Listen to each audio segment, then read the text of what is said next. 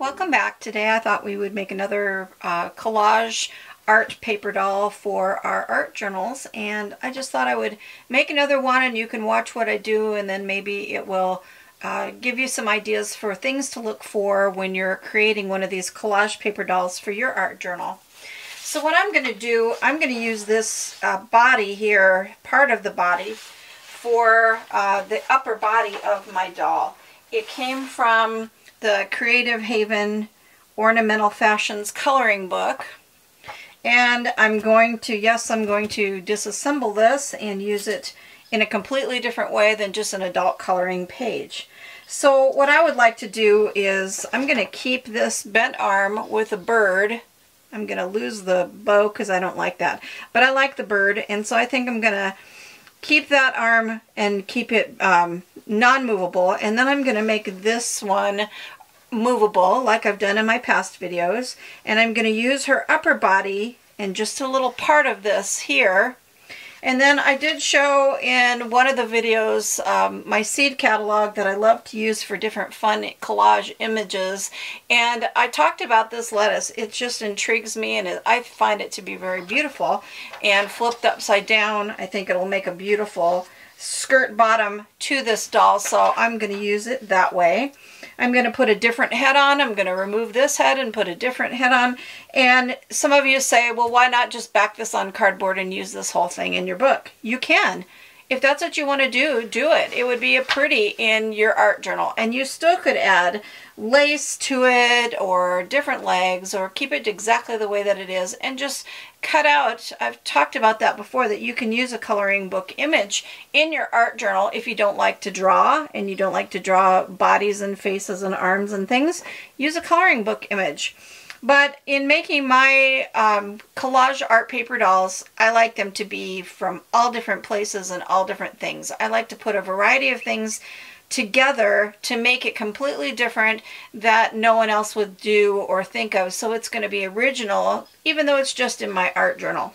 So the first thing that I'm going to do is to um, cut this out in a manner that I'm going to glue it down onto the cardboard. So the pieces that I'm going to use in this are going to be the uh, bird, and as I've talked about, I like to not fussy cut it until it's down on the cardboard because then you're only fussy cutting it once, plus you're getting a nice crisp edge. If you cut this image out, then glue it to cardboard, then cut it out a second time, you're really ruining your beautiful edges that you've cut. So I'm just going to trim this out and I'm leaving her neck but not keeping the head. I am going to keep that for something else that may be pretty on a different paper doll. Should be beautiful on a different paper paper doll. So I'm going to put her in my little folder for heads. Sounds kind of crazy. And on this body, I'm just going to keep this much of it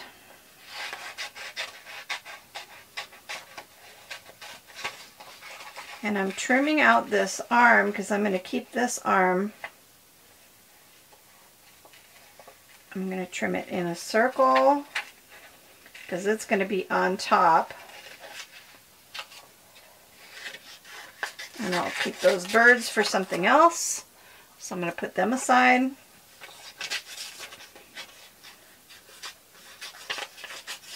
And so here is her arm. Then this one is going to be the one that I make movable. And so these are the two elements of that that I'm going to put down on my cardboard. And then I'm also going to put down on cardboard this beautiful head of fancy schmancy lettuce. Okay, so those are going to go down. From that same seed catalog, I found an okra, which I'm going to use as an accessory, and these beautiful um, basil type leaves. These, which I had wondered what they were, they're actually a Jing Orange Okra. So I'm going to use those as her legs. I love those for legs. I had mentioned that before when I first saw it. That's what I envisioned, so that's what I'm going to use. And this beautiful sprout of beans for a headpiece. And obviously she's going to be a uh, V8 girl, Viola 8 for V8, because she's going to be all made of veggies. Or um, she could be simply Go Green, could be the be the theme here because I'm making her all out of veggies. So that's what I'm going to do and I'm going to go ahead and adhere them down to a piece of thin cardboard with matte gel medium and then start cutting out my pieces. If this is the first video of mine where you have uh, seen making these collage art paper dolls, then you might want to check out the playlist and I'll have a link below and in the description box for the playlist and it has all the videos in this series that will give you all different kinds of ideas for making these types of collage art paper dolls. There's also a Facebook group if you want to join the Facebook group and show what you create. We've got a wonderful group of ladies and in there that are um, having fun and creating, posting art journal pages of all different kinds and uh, showing what they're making with their paper dolls. So Feel free to join the Facebook group and show us what you make. We inspire each other for ideas when you see what somebody else used on a page.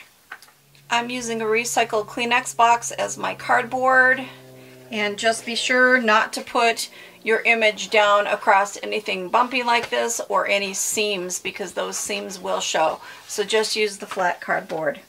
So what I like to do is to put the matte gel medium on the back side of the image and then on the cardboard also and then you get a nice smooth a nice smooth connection where it doesn't wrinkle quite as much if it's, especially if it's from a magazine so I'm going to put that down like this you can go over the top seal it down really good and then do another one. So matte gel medium on the back. Matte gel medium on the cardboard. And magazine image in place. And then I let those air dry completely. If you try to use a heat tool to dry them too quickly, they will get some bubbles and wrinkles in them. So it's my suggestion to let them just air dry. And they're really nice and flat when you do that, that way of putting it on the back and on the cardboard. So I'm going to go ahead and glue all these down. Here are my images all uh, matte gel medium down to cardboard and uh, on this I used a piece of poster board that I had. And then I'm going to take this, um, this is a sticker out of the back of a Jane Davenport book. And I'm going to stick it down to cardboard and use this face. And this would be a perfect spot right here in the end of my I'm going to cut that out and I'm going to use that face.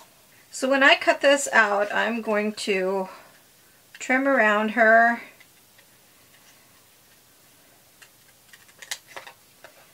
and I'm leaving her pretty hair on. And I know I'm going to have that uh, crown of veggies behind her, so I'm just going to go ahead and add just a little bit of a shape here. I can always trim it off.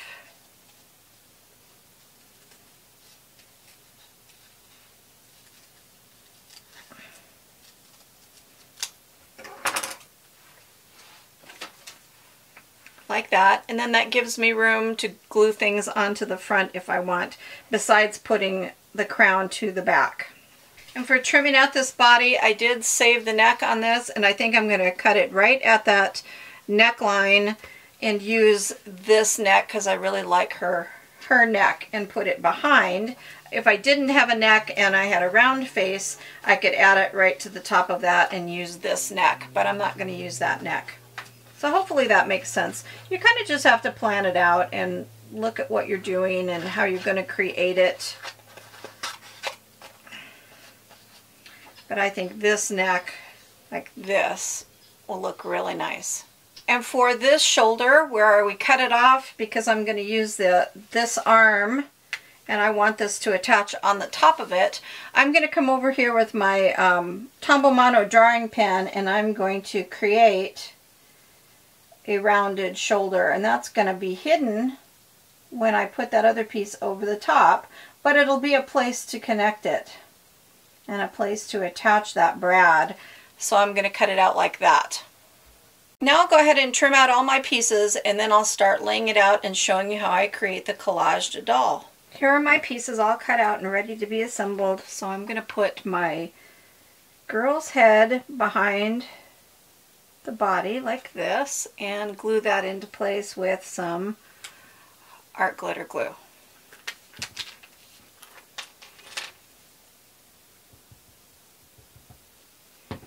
I find art glitter glue to be the best glue for holding these pieces together.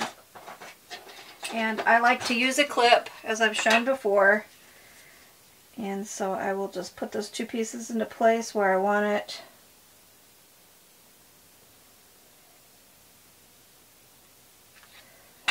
And then clip it and let it set. So here's what her skirt is going to, bottom of her dress is going to be. It's going to be this head of lettuce. How cute is that? And these two pieces of okra from my catalog are what are going to be her legs. And they're going to be movable. And then I cut this piece of basil out to add maybe to her skirt, possibly.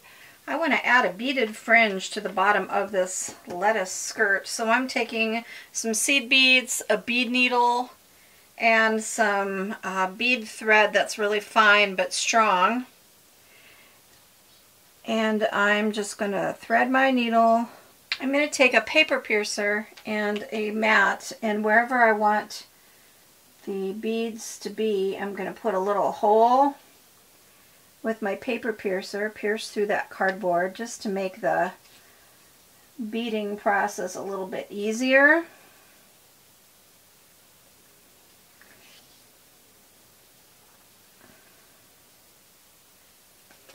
So like that, I'm poking holes along the edge wherever I'm going to put the bead strands. Okay, so I'm going to start by going into that first hole and I'm going to pull my thread through with the knot behind. And you have to be careful, this is just cardboard so you don't want to tear it. And I'm going to take that knot and I'm going to tape it down with a piece of tape and a dot of glue. And that's just to make it really sturdy right where it's starting and so that it'll hold those beads in place.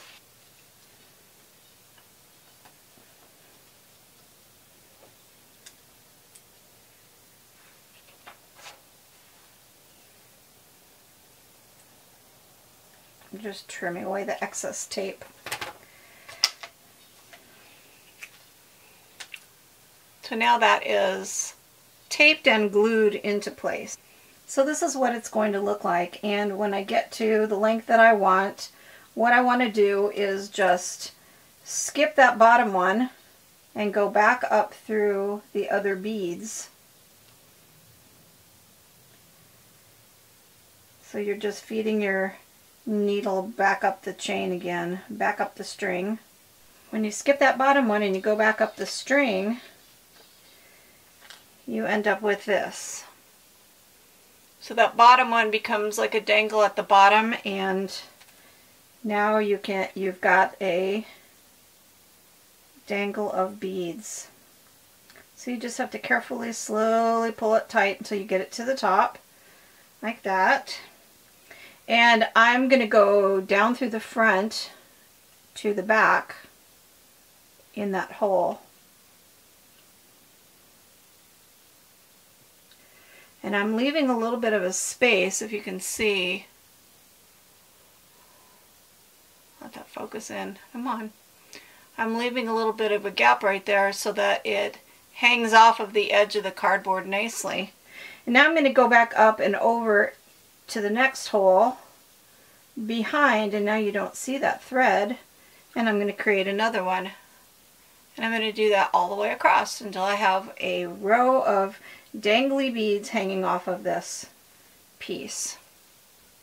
So to show you that one more time, here's my string of beads on the thread and I'm going to skip this bottom bead and then go back up the row again putting my needle through each of the beads.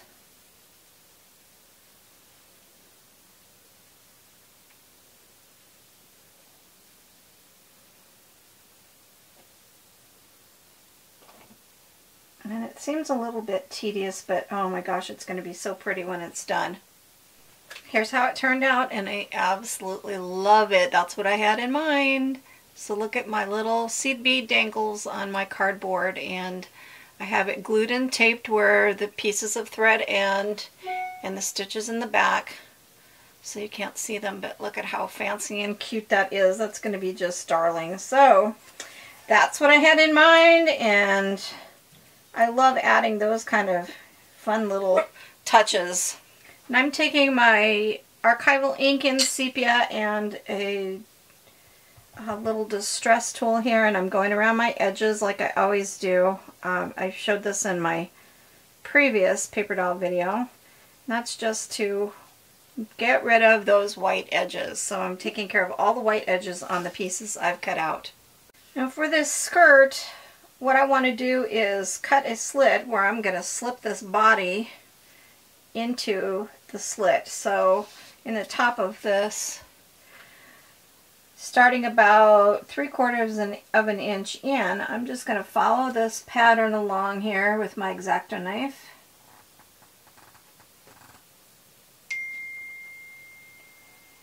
And cut into this piece like that.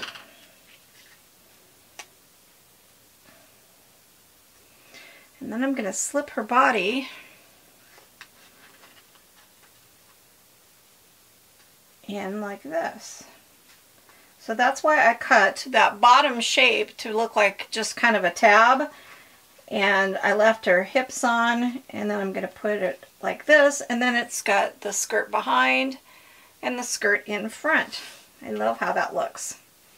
And then I'm going to um, go ahead and take this, slip this out again, put some glue on it, and glue that into place. Now I'm going to color the coloring book images, and I'm going to use my Arteza brush pens. There's some great colors that are flesh tone that I can use for the arms, and uh, some beautiful greens so I'm going to use those and then I'm also going to do some shading with some Caran d'Ache Neocolor II. So here's how it's turning out so far. I've colored this part and I still need to color the bird. And I colored her arm and it's ready to be attached. And what I decided to do, if I put this basil on top, it's going to impede this arm from moving. So I think I'm going to put it behind. And I really like it adding it to the skirt it just adds some more interest. So I think what I'm going to do is cut it right down the middle so I can add part of it over here and part of it over here for balance. And it just adds some more green greenery to her skirt. And then I think I'm going to embellish it with that little piece of okra to match what's in her hair.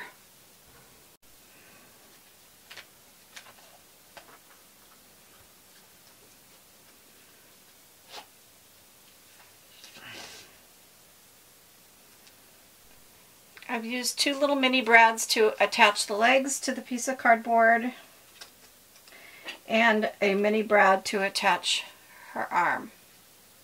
And now I'm going to flip her over and I'm going to glue this cardboard to the back just on the end pieces. So just along that edge I'm going to glue that in place. And I'm going to clip it and let it dry. So here's V8, my garden girl with her movable arm and watering can and a little bird on her finger and she has beans and okra in her hair and then lettuce and basil and okra and okra for legs. And on the tips of her, on the tips of the ends of the okra, I took a black pen and made it look like she has little black shoes. And then she's got the bead dangles. I love that. The bead fringe. Looks cute. So she's ready now for me to add her to an art journal page. So I will go ahead and do an art journal page and show you how I use her on my page. So here's my art journal page that I put my girl on and it is the theme of Go Green, Eat Clean. So she's surrounded by vegetables. I used vegetables out of that catalog to do a border. And then I used cardstock in different colors of brown and I tore it to make the ground with the vegetables growing out of, the carrots and the artichokes. And I used some chalk some um, pan pastels actually to uh, create this look of dirt. So I used some pastel on the cardstock. And here is her movable arm and she's got a watering can and I used, if you can see the drops, that is Nuvo drops and it looks like water coming out of the watering can when she holds her can up. And the color of that was Nuvo Drops in Blue Babe. And then I, um, when the page is open, she can have her arm all the way out like that, like she's watering. And when it's closed, you put it down before you close it so that you don't squish her arm. But her legs also move, so her little legs do, do, do, do, do, do, move along, and you can make her standing in different positions with her legs or her legs crossed. And then she's got her dangly fringe of beads. So she just turned out really cute. I love it with the bird and the veggies in her hair. So that's what I did with her on an art journal page. I just painted the little carrot tops with a paint pen and did the lettering. And that's what I did. So it's really fun to make these dolls and I know that the style of this one is similar to the first one I showed except for the detailing of putting on the beads. And next time I'll do another one with a different way of attaching the arms and legs. When I glued my doll down to the page, I only glued her head, this arm and shoulder that is not movable, and her two hips, just like before. So the body in the middle is glued down where there's no movable parts. These two parts. The part where the legs are attached is not glued down. It's just free floating but doesn't need to be glued down. And then obviously this arm is not glued down. So you just kind of have to be careful when you glue your doll into your book that you don't glue down anything that would make the arm or the limbs not be able to move and that whatever you have movable doesn't be, isn't impeded by something else on your doll. I love the movable parts and so it's interactive play in your art journal. So it's really fun. I used a paper doll or a doll out of a coloring book and a Jane Davenport sticker face vegetables from a vegetable uh, seed catalog, some beads. And It just makes a really fun art journal page.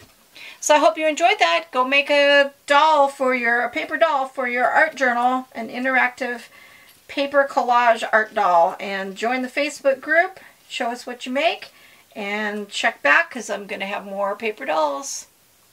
Thanks for stopping by.